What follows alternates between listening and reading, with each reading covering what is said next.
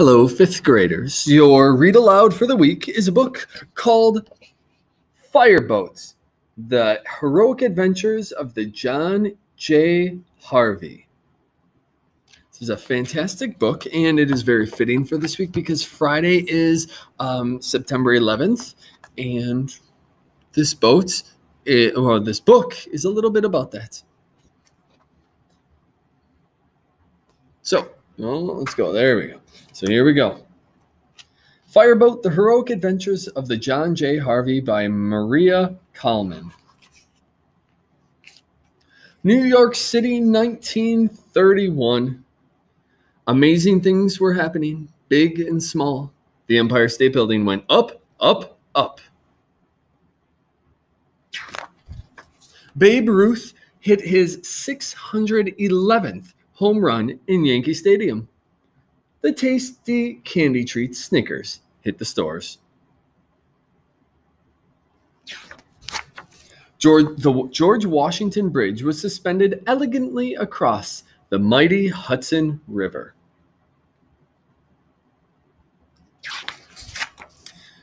Champion Pendley Calling of Blarney won Best in Show at the West, Miss, Ugh, Westminster Kennel Club. On a hot and jazzy night, the word hacha was invented.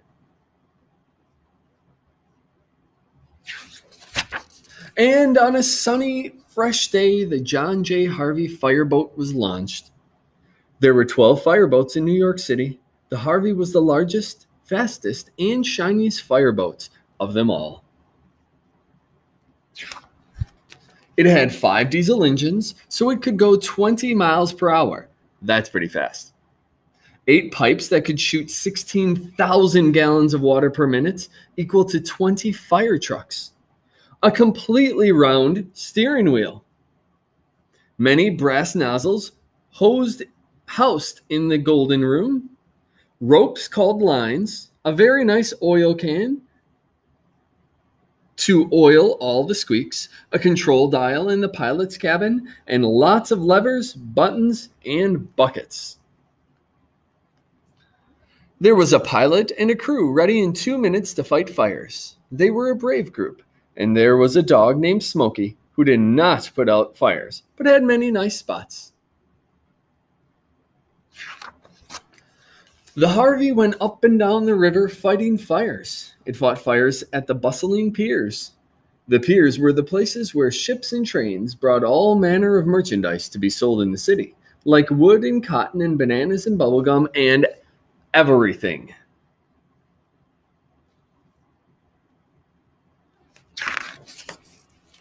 It fought the fire of the great ocean liner Normandie.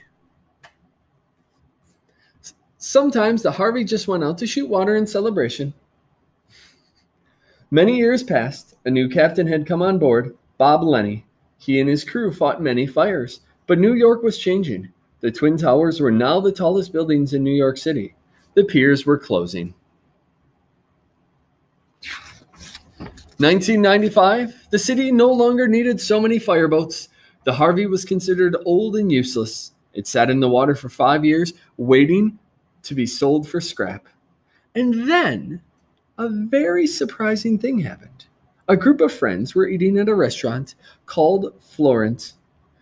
They had heard about the fireboat and decided something. Let's save the Harvey. Let's buy her. Everyone needs a fireboat. We won't put out fires. We'll just have fun. And they did. They took it to Caddell's Ship Repair Yard in Staten Island. Even there, they said, She's old. It'll be hard to fix her. But the owner said, Fix! So they fixed. Beautifully. They repaired the two propellers, making them new with a shiny coat of brass. Brass does not rust. They repaired the holes with steel plates and covered the plates, the places where the rivets wept. They scra- scraped barnacles and seaweed off the hull and painted her with a shiny coat of red paint. And once again, the Harvey was on the water. Tim the engineer kept Tim the engineer keeping things run smoothly. Huntley at the wheel.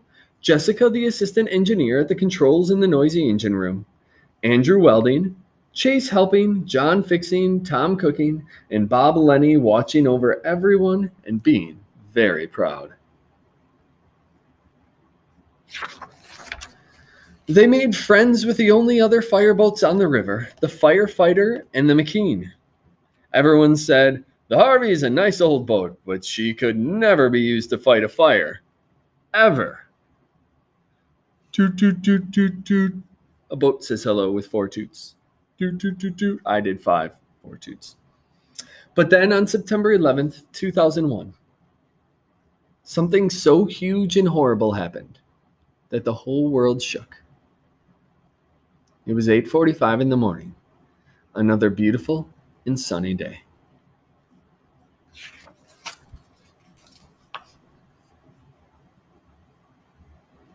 Two airplanes crashed into the Twin Towers. Crashed, crashed, crashed into these two strong, beautiful buildings.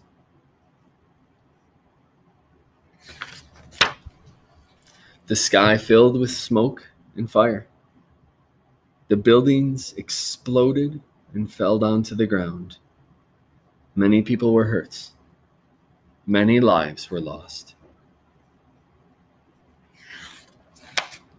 The news spread. The city had been attacked. Everyone was terrified, but people were brave. The entire city sprang into action. Firefighters and police officers and doctors and construction workers and teachers and cooks and children and parents.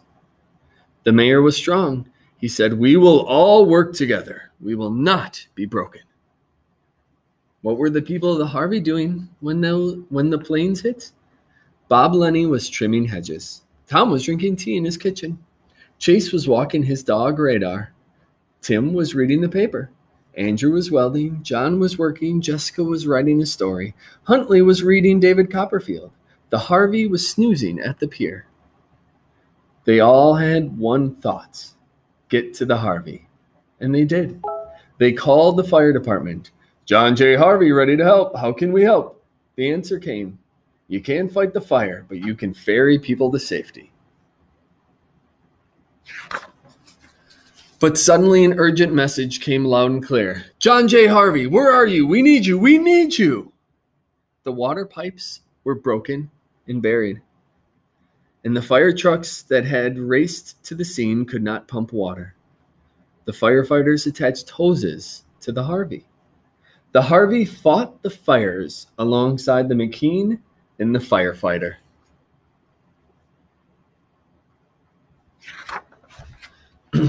For four days and nights, the Harvey pumped water. The crew took turns sleeping.